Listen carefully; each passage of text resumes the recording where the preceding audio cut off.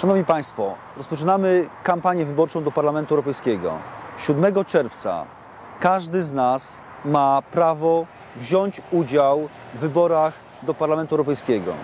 To bardzo ważny dzień. Drugi raz wybieramy naszych reprezentantów do Brukseli.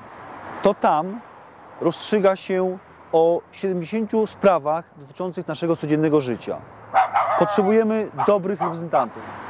Przed chwilą obszczekały nas psy. To dobry omen dla kampanii wyborczej do Parlamentu Europejskiego, ponieważ jedną z najważniejszych spraw dla kandydatów lewicy to ekologia, czyste środowisko e, i myślenie o przyszłych pokoleniach. Ale na poważnie 7 czerwca będziemy mogli wybrać naszych reprezentantów do Parlamentu Europejskiego. Tego dnia znajdź 5 minut czasu, aby pójść do lokalu wyborczego. Serdecznie zapraszam i proszę o poparcie dla kandydatów na liście wyborczej Sojuszu Lewicy Demokratycznej i Unii Pracy. Lista numer 6.